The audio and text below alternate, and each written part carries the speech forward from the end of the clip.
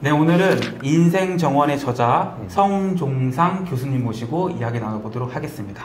작가님 모르시는 분들 자기소개 한번 할까요? 안녕하세요. 네, 서울대학교 환경대학원에서 어, 조경 이론과 설계를 가르치고 있는 성종상이라고 합니다. 반갑습니다. 이 서울대학교에서 조경을 가르치시면서 뭐 느끼시는 게 혹시 있으신가요? 음, 좀 많죠. 네. 어, 우리나라에서는 조경을 뭐 그냥 짧게 말씀을 드리면 네. 좀 너무 미관 위주로. 어, 시각적인 효과 위주로 많이 보시는 것 같고요. 네. 근데 저는 조경을 공부할수록 조경은 정말 우리 삶의 틀, 이- 우리 삶을 이, 갖고 나가는 어떤 틀을 다루는 학문이라서 분야라서 네.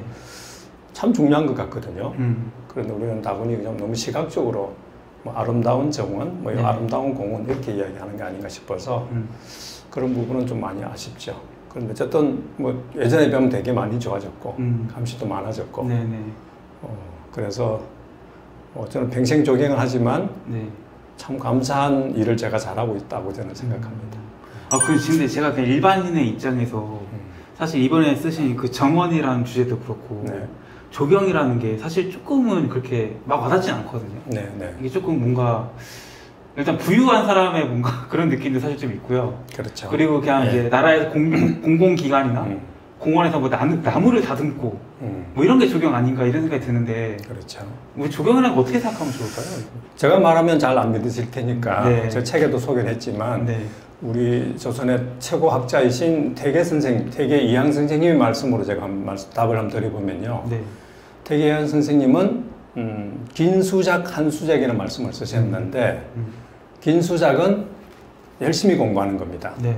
한 수작은 그 반대입니다. 네. 쉬고 놀고 즐기는 겁니다. 네. 선생님이 이렇게 말씀하셨어요. 음. 긴 수작이 중요하지만 네. 한 수작이 충분히 따라주지 않으면 음. 삶이 온전하지 못하다. 음. 온전하기 위해서는 한 수작이 꼭 필요하다고 말씀하셨고, 그래서 그분은 평생 동안에 보면 시창, 시를 열심히 노래를 부르면서 즐기는 것, 네. 네. 그 다음에 산책하는 것, 음. 그리고 중요한 정원 활동을 정말 열심히 하셨습니다. 음. 어, 그런 걸로 보면 결코 정원이나 조경은 네. 좀 전에 말씀하신 대로 우리 사회가 인식하고 있듯이 네. 돈 많은 사람, 뭐 네. 여유 있는 사람들이 하시는 일이 아니라 하시, 그분들만의 어떤 특권이 아니라 네. 사람이라면 누구나 하- 해야 되는 음. 저는 그런 사람다운 사람다운 삶의 조건이다 저는 그렇게 생각합니다. 음. 그런 면에서 보면 우리는 우리 한국인들은 최근에 와서 살면서 우리가 그런 것들을 참 많이 못하고 살았죠. 네. 참 아쉬운 부분입니다. 음. 예. 그 다음에 아까 말씀해서 뭐 국가에서 공공에서 해주는 거다 말씀을 주셨는데 네. 그것도 역시 제가 봤을 때 참 아쉬운 우리의 현주소인데요. 음. 우리는 그동안의 공공 환경, 이 주- 우리 삶의 환경을 누군가가 만들어주면 네. 나는 거기서 들어가서 사는 그런 수동적인 태도를 가져왔다고 생각합니다. 네. 아파트가 대표, 대표적이죠. 네. 아파트는 건설업체가 만들어주면 음. 나는 그냥 거기 들어가는 거죠. 음. 아파트라는 거는 정말 획일적인 공간이고 네. 천편일률적인 공간이고 네.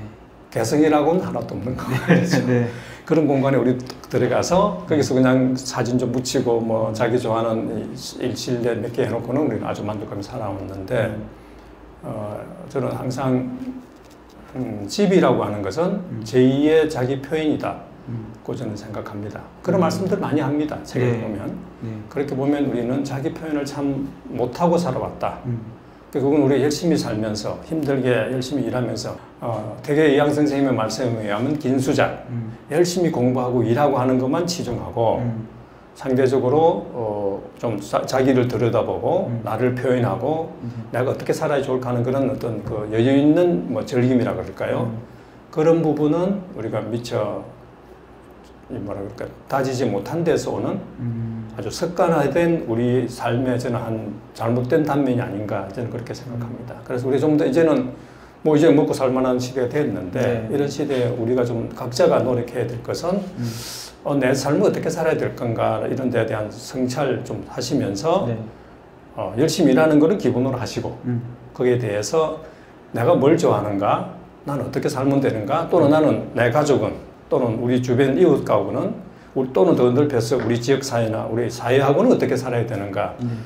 하는 저는 그런 생각들을 좀 많이 하셔야 될 타임이 아닌가 우리 음. 한국이 음. 저는 그런 관점에서 이 책도 썼고 네. 예, 뭐 조경도 저는 그러면서 참 중요한 부분이라고 생각합니다. 이 책에서 이제 정원을 말씀하셨으니까 네. 이게 정원하고 공원하고 어떻게 다른지가 사실 궁금하긴 하거든요. 뭐 그건 학술적으로는 아주 명쾌합니다. 네. 정원은 대체로 그동안에는 개인의 공간으로 간주되어 음. 있고 공원은 말 그대로 공짜가 퍼블릭이니까요. 네네. 예, 공용의 공간인데 그게 이제 사전적인 정의인데 네. 최근에 와서 정원은 그걸 많이 넘어서는 것 같습니다. 음. 굉장히 이제 사적인 걸 넘어서 공공으로 많이 와서 그 대표적인 게 커뮤니티 가든, 네. 예, 공, 공, 공동체 정원 음. 이런 것들이 대표적인데요. 네. 그래서 정원이 예전에 비했던 사전적인 의미보다는 훨씬 더 좀 사회적인 공동체적인 어떤 그 장으로서의 역할이 좀 중요되고 있는 게 아닌가. 그런 좋은 효용을 발휘하고 있는 사례는 네. 어, 좀 앞서가는 도시들 이런 데서는 굉장히 많이 보실 수 있습니다. 예. 이제 우리나라 그 국민들의 그 행복도를 조사해 보면은 이제 물질적인 수준이 높아지는데 오히려 음. 낮아지고 있잖아요. 그죠? 예. 이게 우리나라의 뭐 공간과도 관련이 있을까요? 저는 충분히 관련이 있다고 생각합니다. 네. 그러니까 아까 그도 말씀드린 일상 공간 속에서 느끼는 어떤 자기 존재감 이런 것들이 내 행복감에 굉장히 크게 작용하는 거거든요. 네. 그 크리스토프 코어라고 하는 독일의 젊은 저술가가 쓴 아주 재밌는 책이 있는데요. 무엇이 우리를 행복하게 하는가 음. 하는 책인데 누구나 할 수 있는 질문입니다. 네. 뭐라고 질문했냐면 네. 행복을 돈은 살 수는 없지만 내가 찾을 수는 있을 것이다. 내 음. 행복이니까. 음. 내한테 맞는 행복이 뭔지를 나는 찾아보겠다. 네. 그래서 그분이 행복 찾기 to-do list를 작성을 해서 네. 했어요. 네. 그 1년인가 이상 동안 했습니다. 네. 뭐 예를 들면 아프리, 아프리카 사파리 가서 한번 놀아보기도 하고 음. 또는 뭐 뉴욕 맨하탄 가서 최고급 뭐 공연을 즐기기도 하고 음. 다 하고 나서 네. 그분이 나를 행복하게 한 거 두 가지를 들었습니다. 네. 뭘까요? 글쎄, 공간과 관련된 건가요, 이게? 혹시? 공간도 관련이 있습니다. 그냥 마음 편히 있을 수 있는 곳? 어, 아마 쉽지 않을 건데 한국인들이 답을 하기는 네. 또 우리 좀 우리 동시대 우리 한국 젊은이들하고는 얼마나 공감이 될지 모르겠죠. 자신이 없어요. 음. 그렇지만 그분이 내린 정의는 두 가지인데 네. 답은 하나는 결혼이고 결혼? 예. 네. 하나는 정원이었습니다. 정원? 예. 오.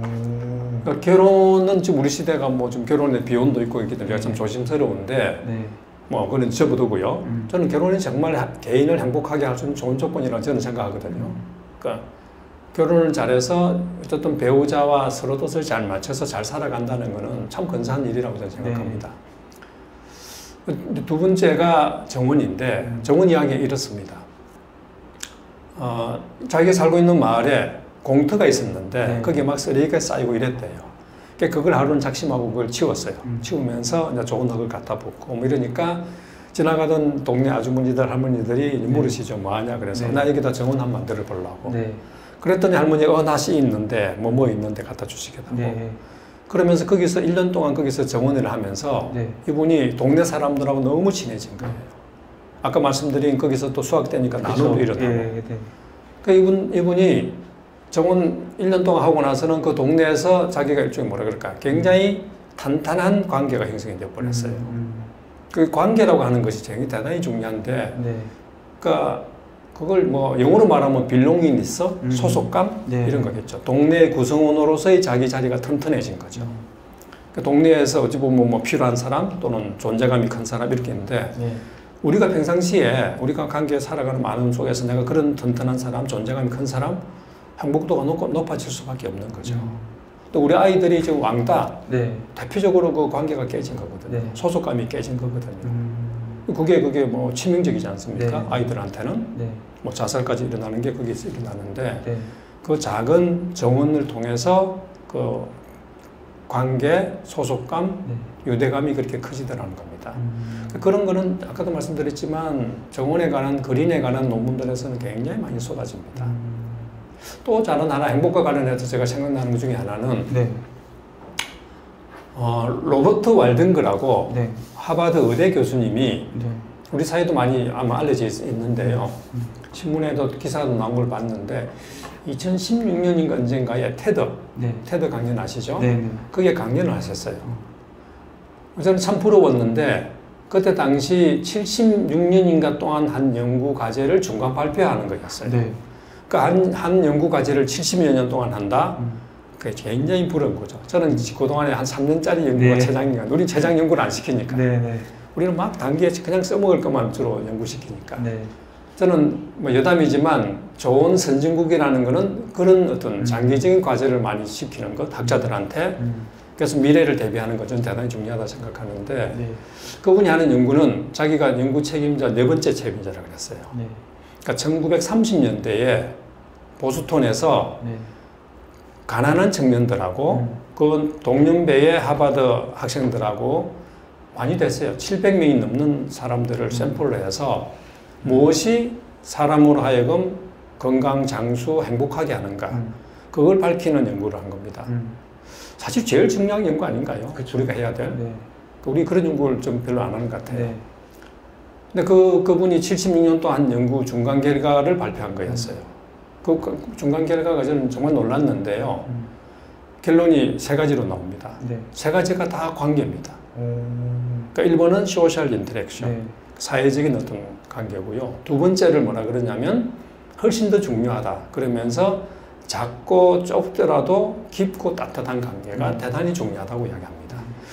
저는 이 대목에서 우리 한국인들이 좀 많이 거기서 좀 뭔가가 문제가 있는 게 아닌가. 제일 가까이 가족끼리, 특히 음. 부부 또는 뭐 자녀와의 음, 부자 간의 관계 이런 관계들이 우리는 주변에 그 문제가 있는 관계들이 꽤 많이 보이거든요. 네. 네. 근데 그분은 그 작고 따뜻한 관계가 행복감에서 치명적이라고 이야기하는 음. 거거든요. 음. 그러니까 세 번째는 뭐좀 어, 좋은 관계를 유지하면 네.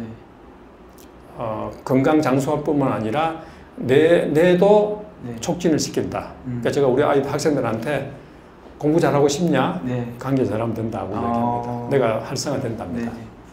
근데 저는 거기서 왜 놀랐냐면 음. 어, 니스벳이라고 하는 다른 미국의 또 사회 심리학자가 그 쓴 책에 보면 네. 그냥 아주 쉽게 말씀드리 이렇게 나옵니다. 서양 사람들은 굉장히 주체 중심적이고 음. 동양 사람들은 관계 중심적이다 이렇게 나옵니다. 음. 그러니까 서양 사람들은 굉장히 주체 중심적이거든요. 예. 그러니까 그게 일반적인 팩트 같아요. 음. 근데 보십시오. 그 주체 중심적이라고 하는 서양 사람들이 음. 장수, 행복, 건강에 관계를 중시, 중요하다고 했잖아요. 음. 그러면 관계를 중시하는 우리 동양 사람들은 네. 어때야 됐습니까? 진짜 처음부터 끝까지 관계 아니겠습니까? 그쵸. 예. 예. 관계가 최고로 중요한 거죠. 음. 근데 그 관계를 그분이 뭐라 그랬냐면 네. 그 어, 왈딩크가 재밌게 이야기하는데요. 네. 그 관계가 별거 아닌 것 같은데 그거 왜 우리가 그걸 잘 못해가지고 건강과 장수를 누리지 못할까요? 음. 그런 질문을 내리고 네. 던지고 그 질문에 답을 뭐라 그러냐면 because we are human being 우리가 인간이기 때문에 음. 관계가 참 어려운 거거든요. 음. 까다롭고 귀찮고 성가신 일이거든요. 네. 조금 더 신경 써야 되고 그쵸. 내가 불편하게 뭔가 앞서서 해야 그 관계가 형성이 되는 거 좋은 관계 형성되는 거 아니겠습니까? 음. 그렇게 자기는 답을 내려서 참 쉽지 않은 거다 하지만 저는 이 대목에서 그 관계 잘하는 거 정답이 저는 가드닝이라고 얘기를 한다니까요. 음. 가드닝을 하면 관계가 좋아질 수밖에 없습니다. 음. 제가 앞에 여러 설명 드렸지만 네. 그래서 정말 이제부터라도 저는 우리 우리 그 한국인들께서 네. 꽃 하나 뭐 그냥 가꾸시거나 네. 베란다에 그냥 꽃 몇 개 가꾸시거나 하면서 종자나 씨나 뭐 정보들을 자꾸 옆에 사람들하고 나누고 네. 어, 소통하고 하는 일들을 자꾸 해, 해나가시다 보면 음. 뭐 또 그러다가 기회 되고 어, 여유가 되면 음. 또뭐 틀을 마련해서 정원을 진짜 뭐 건사하게 만들 수도 있는 네. 일이고요. 다산 선생님도 네. 젊을 때는 그걸 못했어요. 음. 힘들어, 그러니까 여유가 없어서. 네. 그래서 뭘 했는지 아세요? 상상으로 정원을 즐겼어요. 머리 머리로 꿈, 꿈을 꾼 거죠. 어. 근데 그게 우리 우리 정원에 독특한 우리 정원 문화가 있는데 그걸 의원이라고 이야기를 합니다. 네. 상상으로 즐기는 겁니다. 음. 그러면서 뭐라 그러냐면 상상으로 즐기면 내가 마음껏 즐길 수 있다. 규모 뭐 온갖 것다할 수 있다. 네. 그러면서 이게 얼마나 좋으냐 이렇게 이야기를 하시거든요. 음. 그래서 저는 어, 그것도 말씀드리지만 우리 삶을 이렇게 좀 돌아보면서 그런 그 우리가 이런 상황이 있구나 하는 걸 우리가 조금씩 자각하면서 네. 아 그럼 그걸 어떻게 우리가 돌파해 나갈까? 음. 그걸 상상부터 꿈꾸기부터 하라고 저는 권하고 싶어요. 음. 그러니까 꿈은 출발이거든요. 네. 예, 잘 꿈꾸게 하시면서 하다 보면 어느 순간 내가 꽃을 하나 사게 될 것이고 그걸 갖고 또 키우면서 그 네. 정보를 또 나누게 하다 보면 네. 관계가 정말 촉진되고 회복될 거라고 저는 믿습니다. 아, 그 공간과 행복에 대해서 말씀해 주셨으니까 하나만 더 질문 네네. 드릴게요. 그러니까 우리나라의 그 뭐 젊은 세대, 음, 저 같은 세대들은 모두 다 이제 돈을 모아서 음, 한강이 보이는 아파트에 살고 싶다. 음, 이 한강에 보이는 아파트에 산다라는 음. 것은 음. 행복과 관련이 있다고 생각하세요? 아니면 관련 없다고 생각하세요? 글쎄 뭐 정, 정리하겠죠. 네. 예. 한국 그 한강이 보이는 아파트 저한테도 로망인데요. 저는 한 번도 근데 못 살아봤지만 네. 얼마나 좋겠어요. 네. 그런 꿈을 가지는 걸 대단히 중요하죠. 음, 뭐 제가 알기로는 그 도곡동인가 그 대치동에서 음. 네. 양재천이 보이는 아파트하고 보이지 않는 아파트가 10년도 전의 이야기인데 네. 뭐 1억인가 차이 난다 네. 그러더라고요. 네. 저는 그걸 참 좋은 현상이라 생각합니다. 음, 그러니까 젊었다면 그런 꿈은 누구나 꾸어야죠. 음, 꾸다 보면 뭐 그게 또 자기 노력하다 보면 음. 달성될 수 있는 것이고 네. 혹 달성을 못하지면 네. 또그 비슷하게라도 우리가 하면 되니까 음. 내가 내가 채해진 만큼 하면 되니까 네. 뭐 이런 이런 데서도 이 베란다를 그만두지 마시고 네. 여기다가 식물을 하나 키우시고 하면 네. 되는데 아까 말씀드린 대로 성가시고 귀찮죠. 네. 근데 그걸 넘어서려면 네. 이제 거기서 뭔가 내가 의미나 효용 가치를 찾아야 되잖아요. 음. 그게 중요하죠. 각자가 다를 테니까 음, 내 취미가 다르고 내 성향이 다르기 때문에 네. 정말 내가 저는 키우는데 관심이 갖고 있느냐 음, 그런 뭐 그런 노력에 내가 웬만큼 웬만큼 내가 시간을 투자할 수 있는 사람이냐 아니냐 그런 것도 중요한 거죠. 음. 그러니까 자기가 맞는 걸 찾으셔야 되는 거죠. 아, 그, 그, 그 꿈을 꾼다는 관점에서 더 음. 나아가서 음. 이렇게 그 우리 정원의 관점에서도 음, 음. 이 한강을 그게 볼 수 있다는 것 자체가 삶의 만족도 훨씬 더 높이는 거 맞는 거죠 일단. 어, 뭐, 그 굉장히 큰 꿈이죠. 음. 근데 저는 모르겠어요. 저는 미안하지만 그런 꿈이 별로 꾼 건 없는 것 같아요. 음. 한강이 보이는 데 살고 싶다 보다는 저는 어떻게 하면 자꾸 이제 지금 정원이 좋은데 네. 저는 자연 환경을 좀 중시하기 때문에 네. 자연 환경이 좋은 데서 어떻게 살까를 고민을 했던 것 같은데, 어, 뭐, 도시라고 하는 이 도시가 주는 편의를 정말 큰 거니까 음, 그걸 누리면서 한강을, 한강 아파트, 뭐, 정말 누구나 꿈꿀 수 있는 좋은 꿈이죠. 네. 문제는 한계가 있으니까. 네. 근데 그뭐 그런 꿈을 꾸다 보면은 저는 뭐 언젠가는 음. 어, 각자가 각자한테 맞는 뭔가를 찾게 되지 않을까 네. 그렇게 생각하는 거죠.